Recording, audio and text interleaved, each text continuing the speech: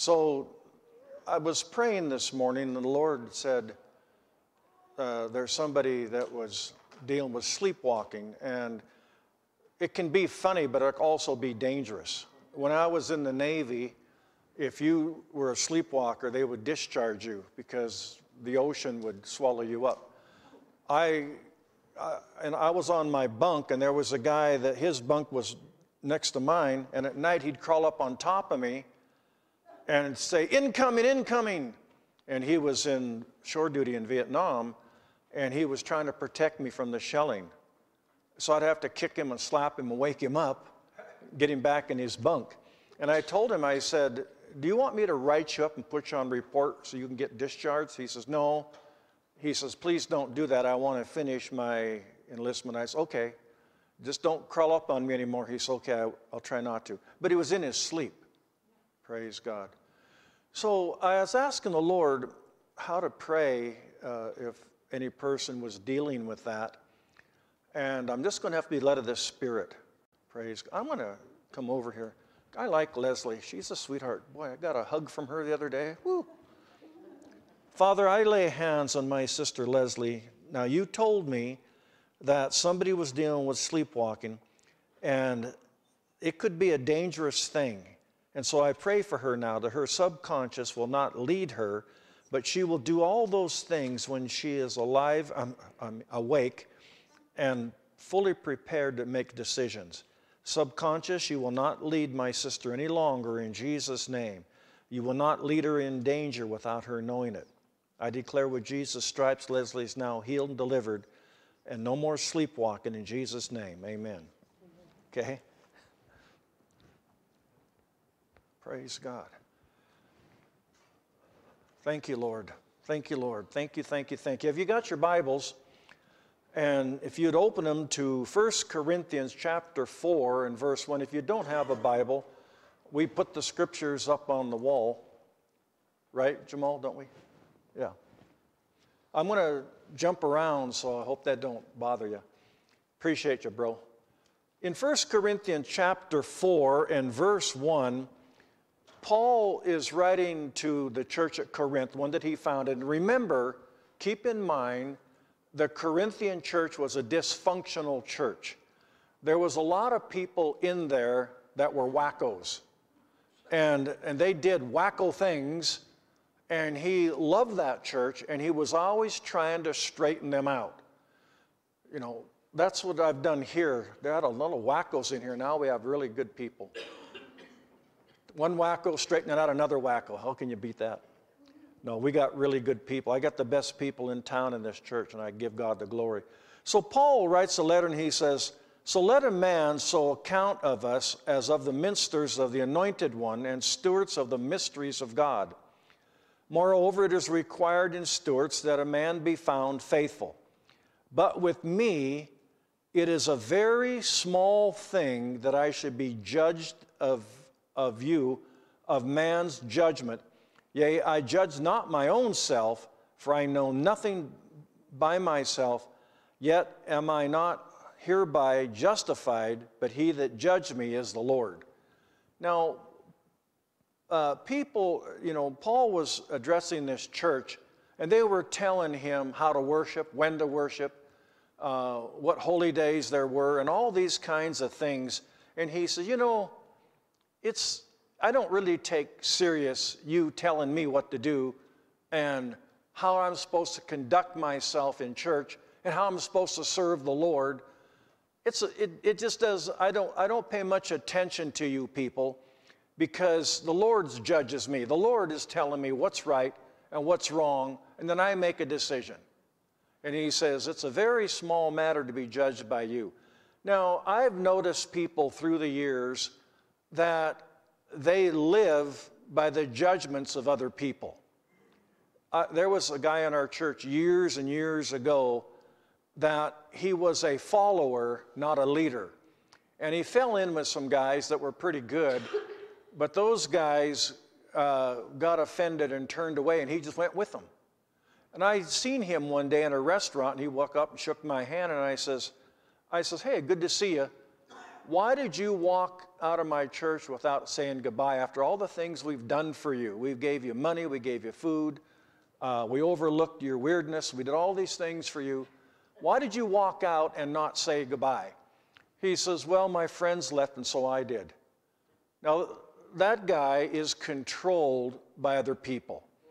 And we don't want to be in that situation where all the decision we make is based on what people tell us. We want to make our decisions based on what God says to us. He's judging us, He's the one who leads us and guides us. He, he gives us things to do or to say, and it's our, up to us to do what He tells us. And if we do what He says, we're going to be successful. Amen. And we can be used of Him. It's very difficult uh, for God to use a person who's under the control of other people. Amen. You, we've got to be free of that. And the Jews, especially, were really good at that, uh, making up their own rules and laws and, and trying to put them on Paul. So uh, they, some of the, they ordered their lives according to the judgments of others, but Paul had very little regard of what people thought of him. He was focused on what the Lord said to him. You know, I was born and raised in the Catholic Church, and I, I love the Catholic Church. Uh, I love the people in there. I, I, just couldn't, there was no salvation in there, and that's one thing I wanted. I wanted to go to heaven, but they did not know how to get me there because it's all by works. But anyway, uh, when I was a Catholic, uh, I, I drank a lot, cussed and swore, and did all kinds of sinful things. Now, don't judge me. Uh, this, the title of this message is Judgment, so don't judge me. And all my friends and family were fine with that. I, I remember going to a bar and then walking out on a Saturday afternoon to do Saturday night Mass and sitting there so drunk you couldn't even kneel down or anything else and go back and, to the bar and finish getting drunk that night. And everybody was fine with that. But the day I got saved and filled with the Holy Spirit, and I started going to a church that taught the Bible, they said I was weird. Now I'm getting out of line. Now I've, I've gone crazy and I've joined a cult. I remember my dad, uh, my mom, I go pick up my mom to go to, to church uh, to learn the Word of God. And my dad says, Yo, you're going to another cult meeting, huh? And we didn't say nothing. And, uh, and then when my dad contracted cancer, uh, he got uh, Aunt Fee led him to the Lord and got him filled with the Holy Spirit and, and began to get healed. And didn't quite make it. He's with the Lord now. He, so he has got the ultimate healing. Praise God. So it's a very small matter to let people judge you. And I've noticed sometimes I will, I will tease people and tell them what they should do, and they put me in my place. And that's exactly what they should do. Amen. I was just, te- and I just tease them with them because uh, I, I like to see people who are solid in their faith. They know where they're going, they know what they're doing, and they will follow God before they follow anybody else. Those are going to be some good people. Let's, let's go to say, uh, we're in 1 Corinthians, let's go to chapter 11 and look at verse 28. I'm going to read from this scripture twice today and, and take two different components out of it. And um, this this is, Paul is talking about people who are about to take communion, and we're going to take communion today. And uh, he says in, in 1 Corinthians chapter 11 and verse 28, he says, Let a man examine himself, and so let him eat of that bread and drink of that cup. For he that eats and drinks unworthily eateth and drinketh damnation or judgment to himself, not discerning the Lord's body. For this reason, many are weak and sickly among you, and many sleep or, or died in Christ. He's speaking to Christians. For if we would judge ourselves, we should not be judged. When we're judged, we are chastened of the Lord, that we would not be condemned with the world. So, God's judgment, we all want God's judgment. If we, if we don't have His judgment, there is a possibility that what we're doing, we could be judged with the world, and we don't want the world's judgment. The world is under judgment, they're under the law.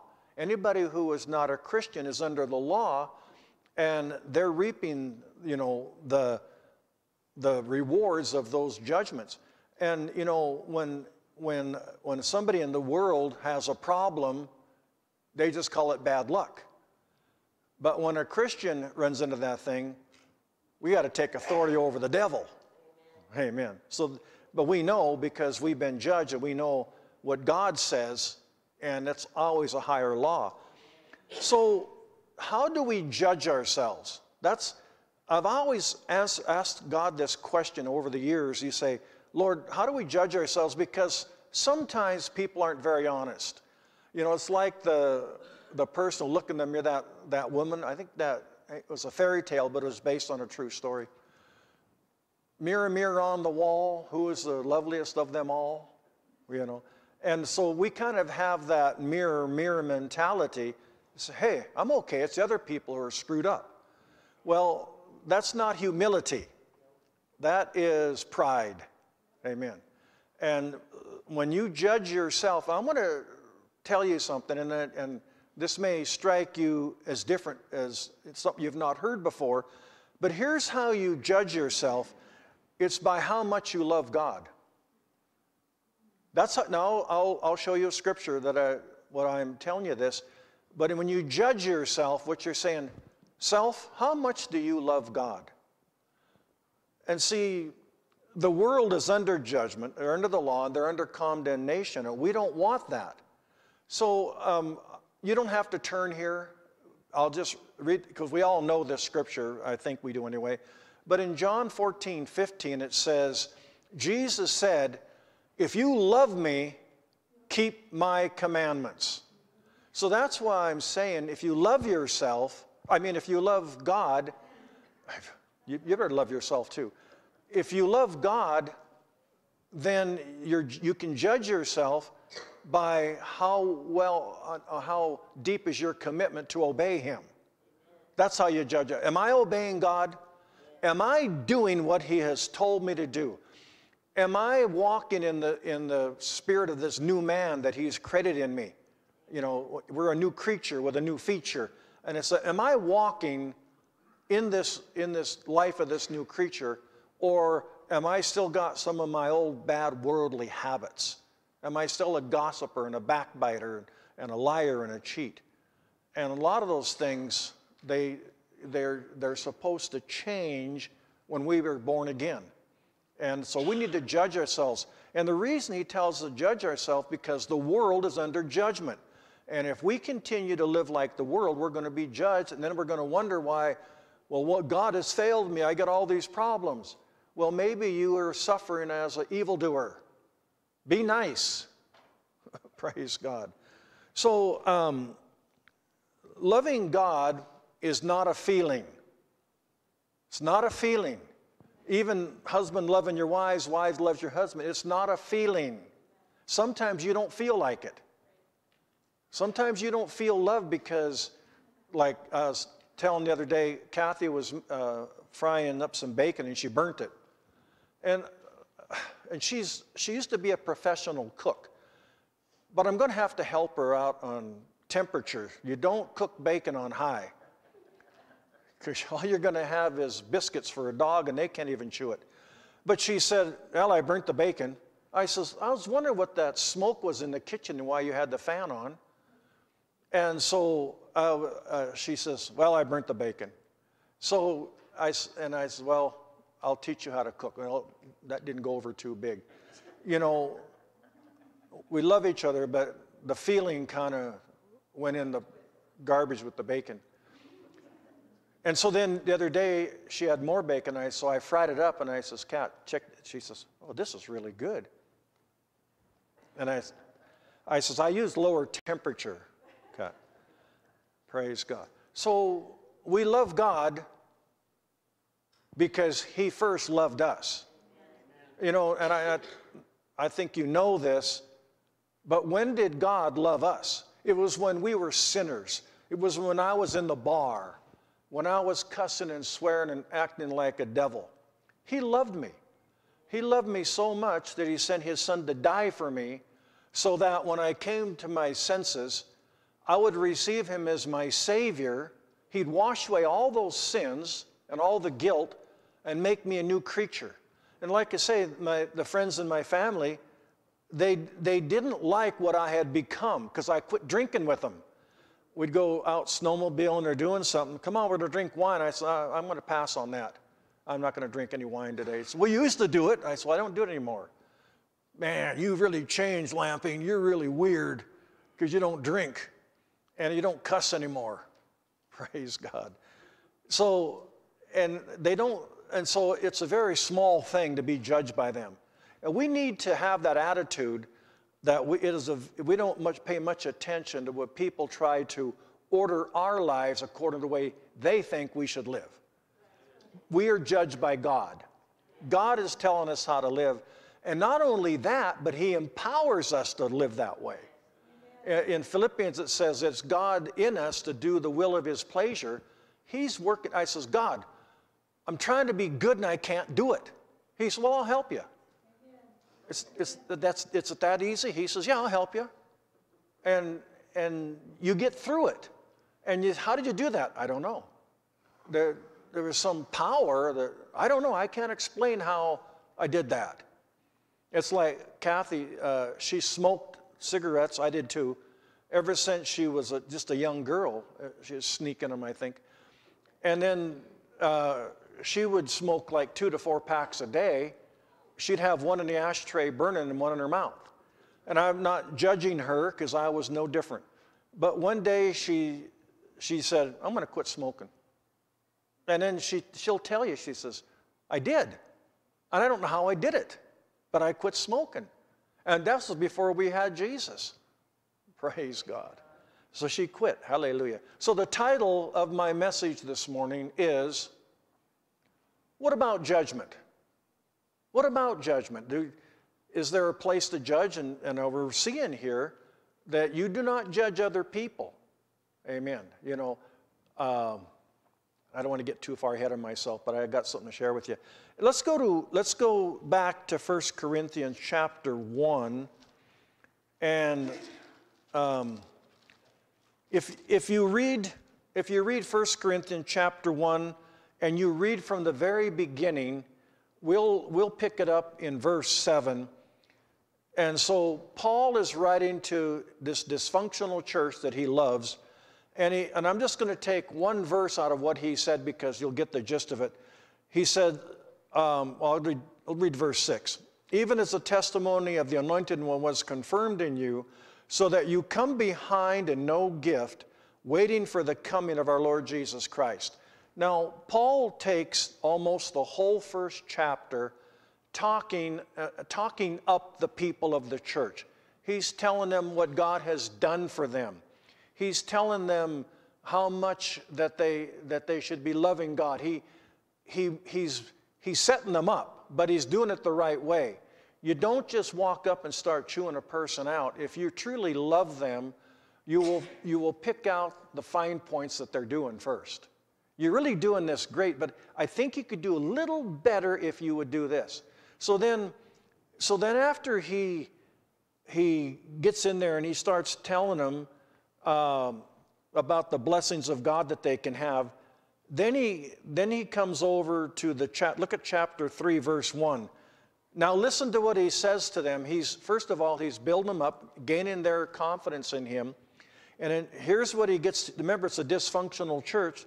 So in chapter 3, verse 1, and he says, And I, brethren, could not speak unto you as spiritual, but as unto carnal, even as babes in Christ. I have fed you with milk and not with meat, for hitherto you're not able to bear it, neither yet are you yet able. For ye are yet carnal. For as there is among you envy and strife and divisions, are you not carnal and walk as men? While one saith, I'm of Paul, another, I'm, I'm Apollos, are you not carnal? But you notice how Paul, first of all, told them about the blessings of God that they, that they should be walking in. And he was coming to the place where he was establishing a connection with them of love, and now he's correcting them. He's, and correction brings perfection. Praise God. And so he's he begins to judge or correct them to put them in step with God. Amen? When I, uh, left the Catholic faith and I got the Bible, I began to see there were a lot of things in here I was doing wrong. And, and, then, and then I realized when I made a decision to do what the Lord wanted, there was a power in me that enabled me to do it. See, as a, as a Catholic, I, I, I grew up in the Catholic church, the Catholic school. I was an altar boy, the whole works. I could say the whole Mass in Latin, never understood a word of it, but I could do it. And then um, when I got out of there, I went into the military and, and I turned my back on God and became a heathen, a better, he, a better heathen, more devilish. And then when I started having those dreams of burning in hell, I got up and went back to church. And so I'm, I'm back in church, and I just, I, I just can't, I could not uh, find God in there, in, in the Catholic Church. And I just went down and I said, Lord, I'm looking for you. I don't know anything that I thought I knew, and I don't know where I'm going, what I'm doing, but here I am. And then my Aunt Fia was fasting and praying for Catholics, and a bunch of us got saved after that. And so um, I began to, as a Catholic, I would say, uh, here's what I said one day I said, Lord, I cannot keep all these commandments, and I know I, I'm, I'm breaking them all, and I'm going to hell, so why bother?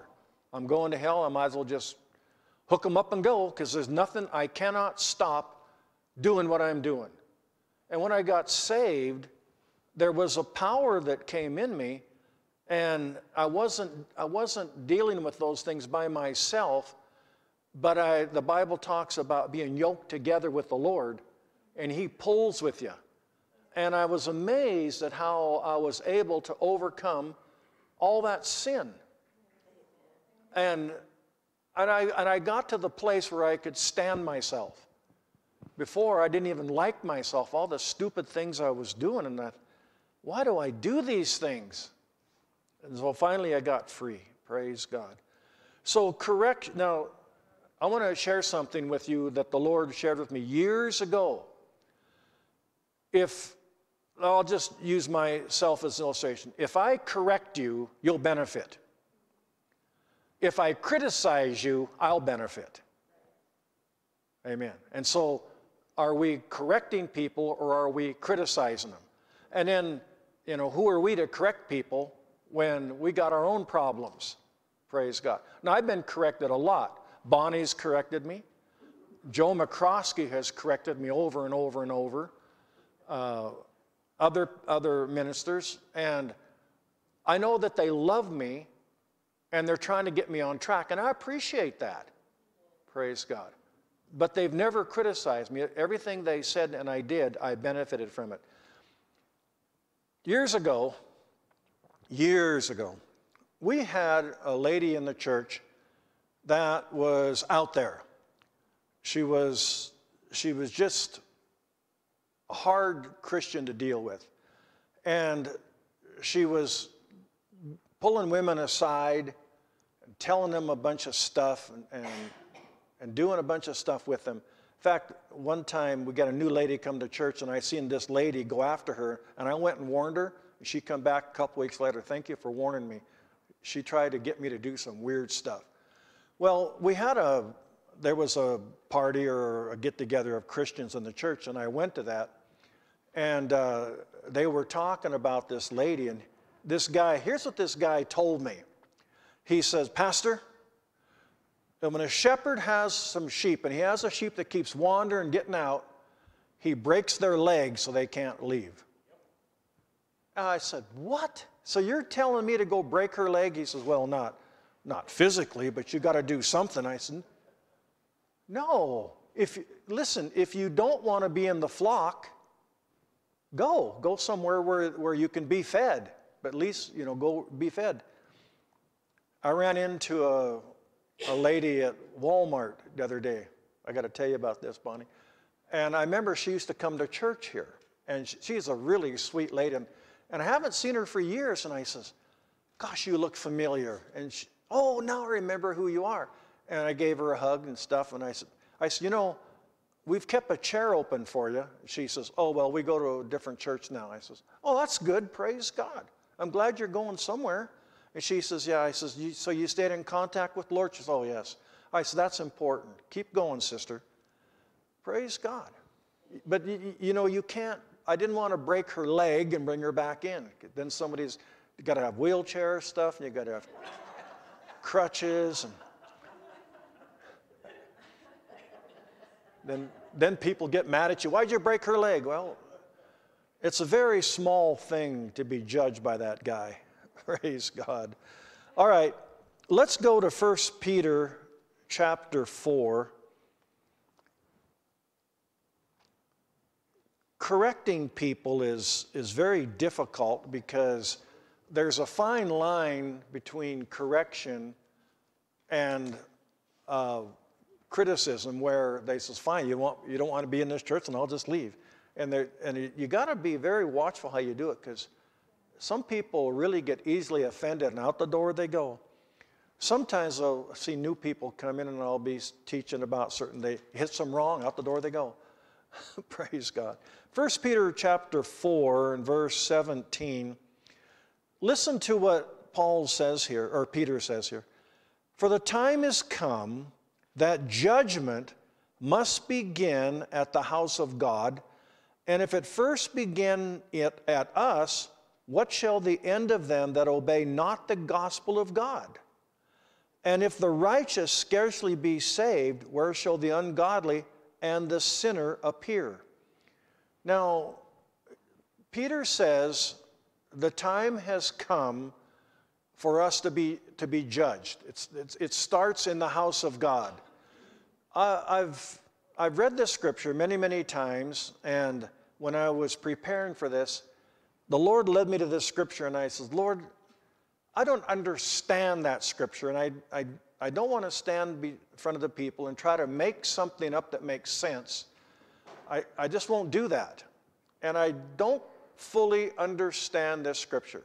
So I threw my pen down and started praying. And I says, if you lead me here, then would you please explain it to me because I don't understand it. Why, why, what is this time that Peter's talking about that judgment begins in the house of God?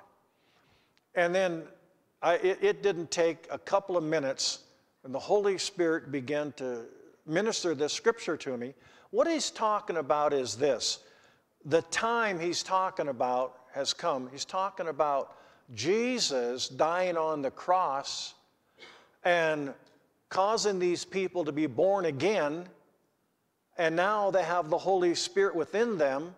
And so now they can now they can uh, endure the judgment so that they do not be judged with the world. So the judgment begins in the church because now we're born again, and so we can handle the judgment. And it begins in the church, it begins in the church because we're born again, and that judgment is good for us.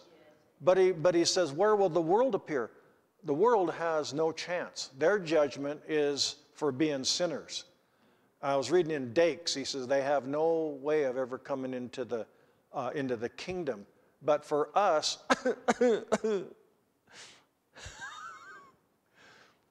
I told her, she's, Leslie said to leave early, and I said, if you see me crying, just ignore me.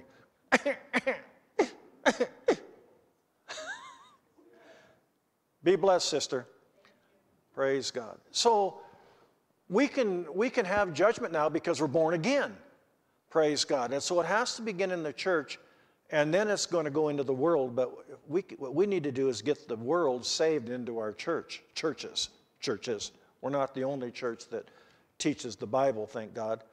And then he says, verse 19, therefore let them that suffer according to the will of God commit the keeping of their souls to him in well doing as unto a faithful cre- creator. So the, this time, uh, the ungodly and sinner have no chance for redemption but we can be judged now because we're born again. Before, judgment was of the law, but everybody was spiritually dead. Now we're spiritually alive. Praise God. We want God to judge us. We want God to tell us if we're on the right track or if we're getting off. We want to finish our course We don't, like, like Gloria Copeland said, we don't want to stand before God. We want to hear, Well done, thou good and faithful servant. We don't want to stand before God and Him say, Well, did you get that? I took me a while too. Praise God. All right, let's we're almost done. Let's go back to Romans chapter 14. The church now can be judged because they're born again, and we can be judged in righteousness. You know that we get the same judgment as Jesus?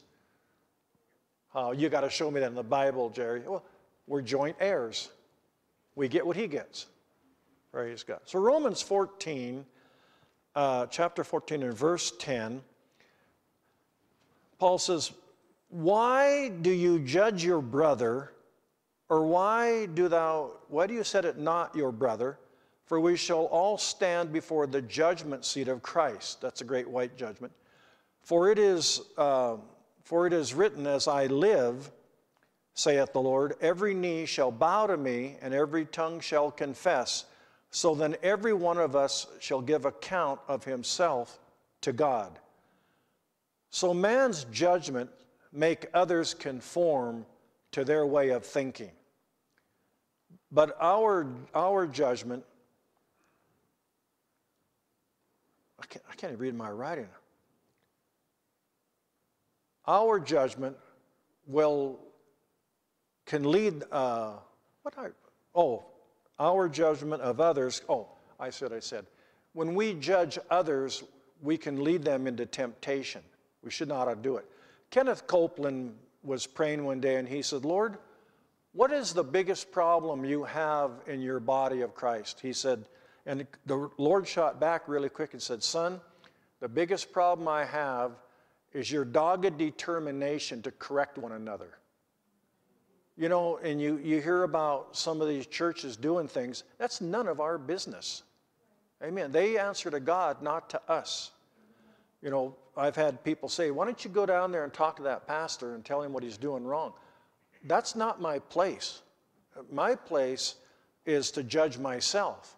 I've got my hands full judging myself. I don't have time or an anointing to judge other people.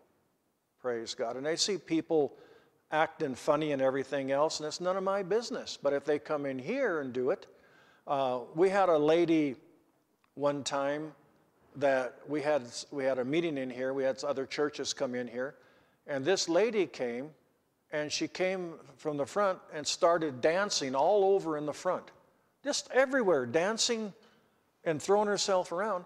And I believe in dancing in church. That's that's not the problem. But but she had she had never been here before, and what she was doing was drawing attention to herself. And, and so next Sunday she came back, and I met her in the back, and I said, Sis, I'm so glad you're coming to church here. We really appreciate you. Now, I gotta, I gotta speak to you about something.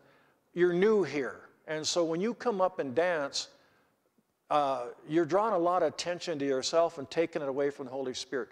Would you please just sit in the back and enjoy the word and be blessed. And once we get to know you, then you can come up and dance because I, I believe in people, you know, expressing themselves before the Lord. And she says, fine. And she walked out. And I went to this, I went to a, a friendly, I went to a church of my friend, friendly pastor, and there she was in the back. They wouldn't let her dance there either. Praise God. I, will tell you, I'll tell you a good one. I, I think this is okay. We had a, a lady come to church, and I think Shirley led her to the Lord. She was a stripper. Yeah, Shirley went. She was a stripper. I think it was in the hospital. She had a miscarriage or something, or something like that. You can correct me later. I'll take it. Anyway, Shirley led her to the Lord, and she came to church, and and. Uh, she got saved and filled with the Holy Spirit. She's a, just a sweet young lady, and she's, she was an ex stripper, and uh, she came here, and she met a guy and married him, and they had a baby. Uh, she came all the time, and we just really appreciated her. She wore she wore a jacket that had the name of the strip club she was uh, at. And it upsetted some people. Didn't, who cares? Who cares what you wear? I see, I seen our praise and worship leader this morning wear a Cabela shirt. I strictly shop at Bass Pro, you know. Let, let's get all fuzzy about that. So this young lady and her husband were sitting on the front row, and she had her baby, and I'm over here preaching and just getting, and she's right in front of her. She just lifts up her shirt, puts the baby on, and nurses the baby. So I preached over here for a while, and I'm, I said, Lamping, don't you say a word. Don't say a word. And I would glance down. I wasn't, I wasn't looking at the nudity. It was all the tattoos in that area. And I, I, I just, I just, you know, I'm not going to judge her. So I just stayed with the word. And, and to this day, I'm still friends with this lady.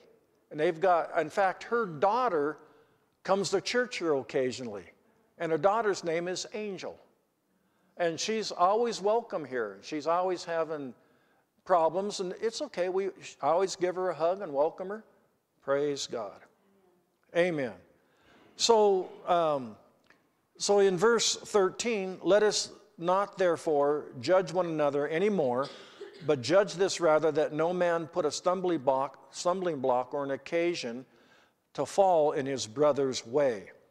So, our our judgment can lead people into temptation. They don't need to be judged. Praise God.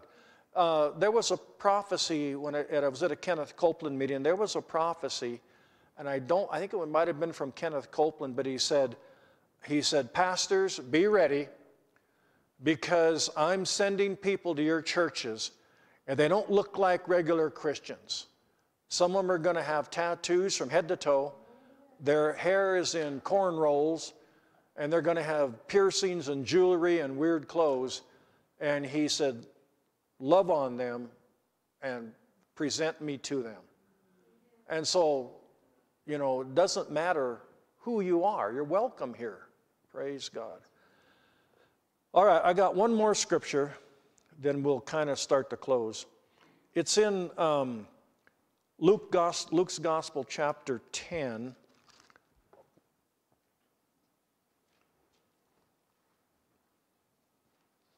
Luke 10, oh, you know this scripture. Luke 10 17. Remember this scripture? Uh, Jesus sent 70 before his face or with his power. And the 70 returned again with joy, saying, Lord, even the devils are subject unto us through your name. And he said unto them, Behold, uh, be, I beheld Satan as lightning fallen from heaven. So the devil was judged. His, he lost his place in heaven and God judged him. Do you know why there's no redemption for the devil? Because he didn't have a tempter. So he's already been judged. He, he, like Kenneth Copeland says, ship his saddle home. Praise God. Now, when he when Jesus came and spoiled principalities and then translated us into the kingdom of his dear son, the devil cannot be in our kingdom. The devil cannot be in the kingdom of God. The devil's here, but he cannot be in the kingdom.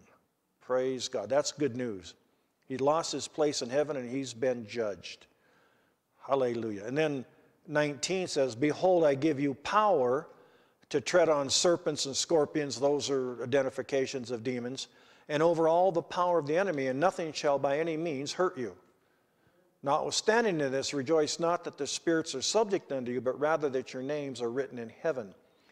So the Lord has given us power in His name to execute the judgment that God put on Him.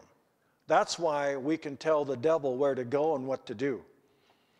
I, I was, uh, I always, I tell you this all the time. When I'm in the morning praying for you, then I spend a little time worshiping the Lord and I always tell the devil, I invite him into my praise service, and I command him to get on his knees and worship the Lord. I think Greg sang, a, Let everything that has breath praise the Lord. Did you do that this morning? And so I, I said that. See that, devil? That's what the song says. You have to praise the Lord You have to because I, I tell you to. I get to. And I make sure he knows that. And he hates that.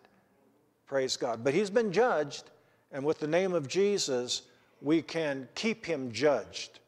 He got kicked out of the kingdom, and he, uh, out of the kingdom of heaven, and we keep him out of the kingdom of God that we've been translated into. We do not let him bully us around or give us sickness or disease or po- poverty or lack. Amen? Amen? Praise God. All right, I got would you go to John's Gospel, chapter 10 and verse 10? We're going to receive tithes and offerings this morning. Praise God.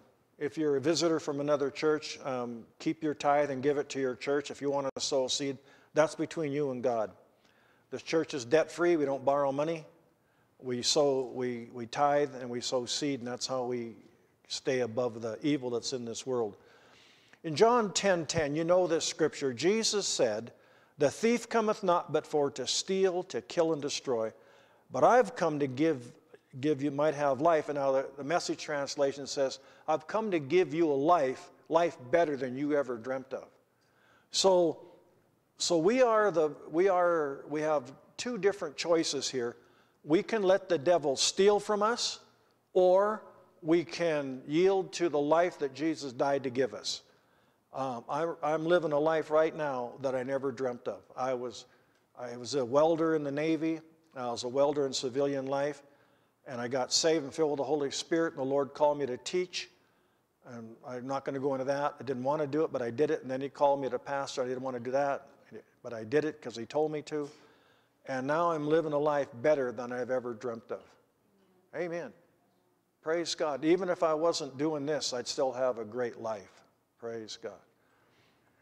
Hallelujah. So, um, we can rebuke the strong man, we can rebuke the devil, and keep him out of our finances.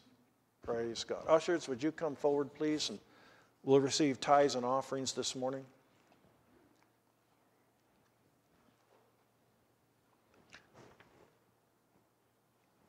Let's, uh, let's make this confession. God gave me power to get wealth. And the devil came to steal it away. God rebukes the devourer for my sake. And he gave me his name. I have authority to judge the thief. God sent me ministering spirits. That's angels. Uh, you don't have to say that. But to empower me to succeed. To empower me to succeed. And if God be for me, who can stand against me? And every need of this church is met. We will never go in debt. In Jesus' name. Amen. Can you put my music on, Greg? Praise God. After the ushers receive the offering, we're going to take communion this morning.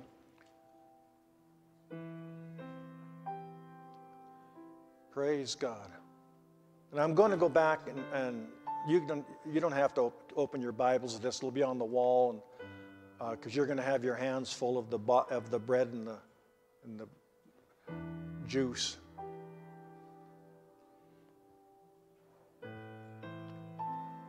Got a, I wonder what happened to my our Catholic friends when COVID came, and because used to they used to fill the cup full of wine, and everybody would drink out of it. Wonder how they did that.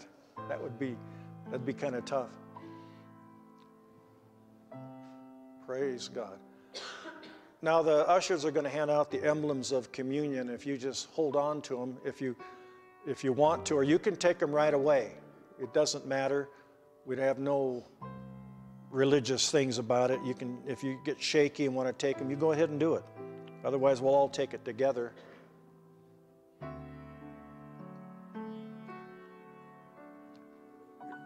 Jesus, when he went to the cross, he became the curse. And he bore the curse. The curse is poverty and lack, and sickness and disease, and all those things. And he bore that. So we can have, uh, we can have wealth, and we can have health and we can have all the blessings of the Lord. I, I always tell this friend that I shoot trap with, I always tell him, he says, How come you always get the best positions and the best parking places? I says, Because I have favor. He said, I'm tired of hearing about that favor. And I said, You know what I think I'm going to do? I'm going to write the scripture out of, that, from the Bible that shares, says I get favor. I'm going to give it to you. but we all have favor. God blesses us. Things we're not even believing for or asking for, He just shows up. Like $42 in my pocket. That's favor of God. Good thing I put these pants on. Good thing I had pants on at all.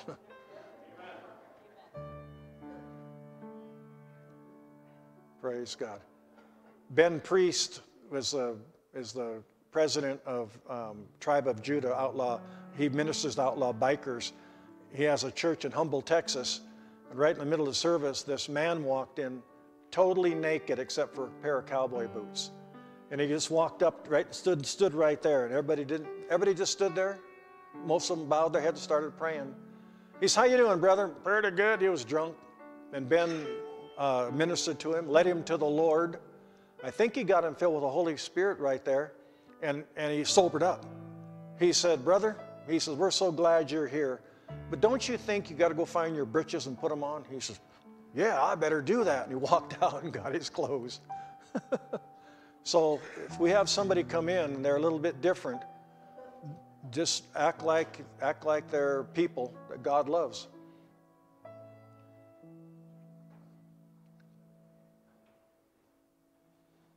Praise you, Jesus. Thank you, Lord. Thank you, Lord.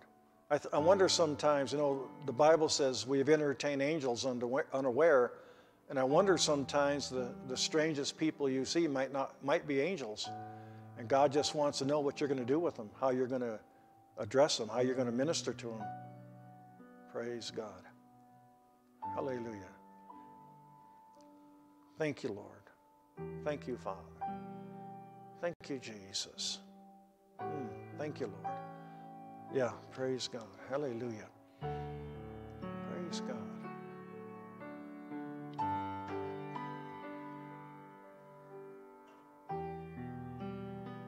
Somebody's been feeling um, a heaviness in your chest, like a congestion or something like that. It's, it's, it's in your lungs. And the Lord's healing your lungs right now in Jesus' name. You, just a lot of phlegm and occasional coughing. The Lord's healing you right now in Jesus' name. We got everything, Jeff? Christopher, thank you, fellas. Appreciate that. Now, back in, um, I'm going to go back to 1 Corinthians 11. Um, and Paul says, Now, for as often as you eat this bread and drink this cup, you do show the Lord's death until he come.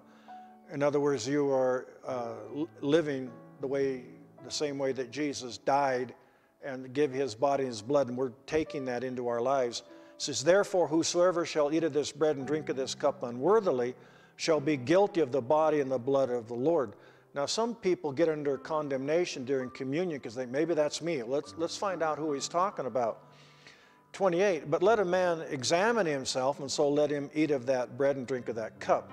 For he that eats and drinketh unworthily eateth and drinketh damnation or judgment to himself, not discerning the Lord's body. For this reason, many of you are sickly among you, and many sleep, because the communion represents healing as well. For we would judge ourselves, we should not be judged, but when we are judged, we are chastened of the Lord, that we should not be condemned with the world. Now, who he's, I'll tell you who he's talking to about here. If you back up and read the other scriptures down from 17 to 21, remember I told you this is a dysfunctional church. And these rich people were coming in and they were, um, had, they took a part of the church by themselves. They didn't want nobody, they took, right, let's say all these people here, they, they're the rich people and they, they didn't want anybody from this side of the church get mingling with them because they brought in a feast. They were having all kinds of food and everything else and they did not share it with the other with the poor people. And Paul says, he said to them, he says, um, when you come together, therefore, in the one place, this is not to eat the Lord's supper. And he says, Um, for I come together, church, I hear that there be heresies among you, so there must be heresies, and you must be manifest among you. For in eating, one, one eat for in eating, everyone takes before other his own supper, and one is hungry and another is drunken. So they were totally have no regard for the communion table. See, that's not you. That, that was written for, for people in the church. Now, if you have hatred for somebody and, and you openly show it, then you come to that category. Amen. But we love each other. Amen? All right, praise God. So, um, Jesus took the bread and the wine and he said, Take and eat, for this is my body, my blood. Do this as often as you drink it. The, the, bre- the body, it was his stripes you're healed. Remember that? When you take this, recall that with, on the cross, he was beat to pieces for our healing. And when the blood, when you take that, cleanses you from all unrighteousness. I, I had a really difficult time at first understanding that I'd been made righteous. I thought we had to earn that, and you can't do it. Uh, a man one time walked up to Kenneth Hagin and told him, he said, I don't believe we're righteous. When do you get, how do you get righteous? And Kenneth Hagin says, Well, let me ask you a question. Are you a man or a woman? What? I'm a man. He says, How did you get to be a man? He says, I was born that way. How do you get to become righteous? You're born again that way. We are the righteousness of God. I mean, we have a right to be healed and to, and to be blessed. So eat the bread and drink the cup.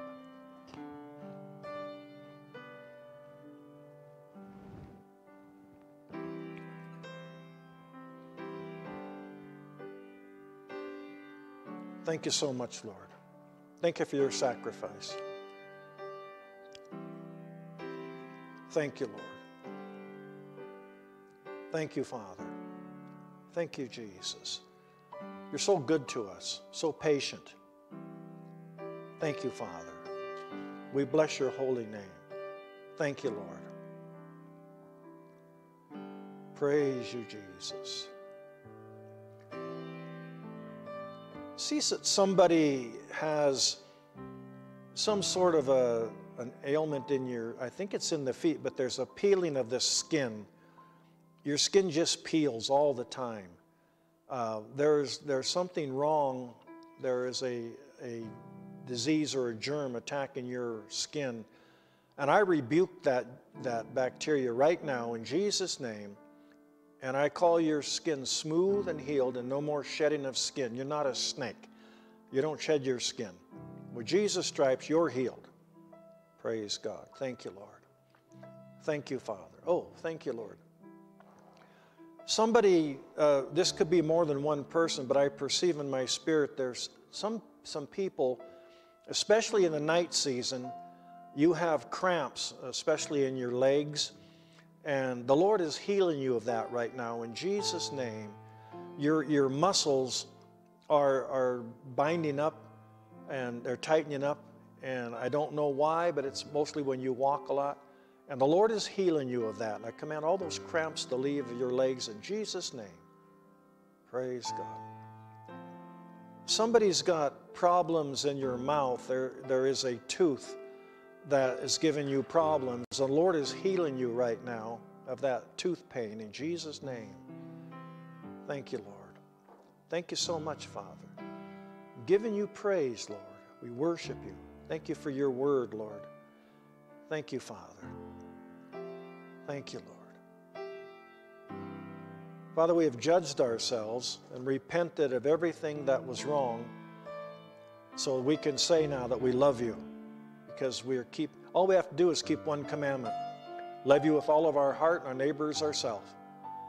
That's all. Do unto others you do, un, do unto others you do it to yourself. That's the golden law. We keep that. We keep all the commandments. Thank you lord. Thank you for the power to walk the path that you have put before us. Thank you, Lord. Thank you so much, Jesus. Thank you, Lord. Thank you, Father.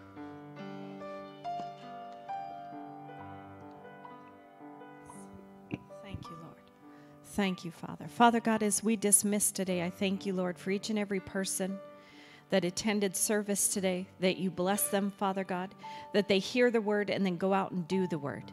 We thank you, Lord, for meeting our, our petition, Father God, everything we've prayed and asked and put before you, the new members, Father God, the completion of our parking lot, each area, Father God, in our teams to serve. We thank you, Lord, that people are answering and doing what they're called to do in Jesus' name. Father, we thank you for our children that they love and serve you all the days of their life. That, Father God, they hear your voice and they respond quickly in Jesus' name. We thank you, Father, for it. Thank you, Lord. And Father God, as each person goes home, they arrive so without incident and they enter their homes full of peace. In Jesus' name, amen. All right, a few announcements. How many of you have seen the movie The Sound of Freedom? Okay. How many of you would like to go? If so, I was going to go tonight at 4:20 if anybody would like to go. All right. Perfect. It's a date then. So no prayer tonight. Um, but if anybody would like to join us, we're going to go to the 420 showing of The Sound of Freedom. If you haven't heard it, is it good? Yeah, yeah, very good. Very, uh, it's Christian, so very much so. Um, and then we have Dana and Liz Niles coming August 20th to minister. They'll be here the morning and night service. And so if you've not um, heard of them or seen them yet, they are the missionaries, the main missionaries for AFCM. Um, Miss Bonnie and Gilda and I, Miss Kim, we got to hear Dana share some of his stories and what he goes through to make sure that they're ministering literally to the ends of the earth. Um, and so, stuff that probably you and I would not imagine doing. But what struck me about it is when you're called a God, nothing is too hard. What's the rating? PG 13.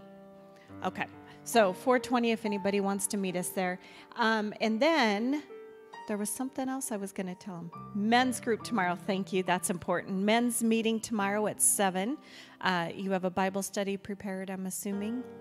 You've been studying, so hopefully. No, I know it will be good. Men, please come and join the time of fellowship and ministry to one another. I love, they usually do Bible study and then they stay afterwards in fellowship and um, harass each other a little bit, but it's part of getting to know one another and the people you serve. So, um, I don't think there's anything else. Prayer team's going to come up. Uh, if you need prayer, go and see them. If something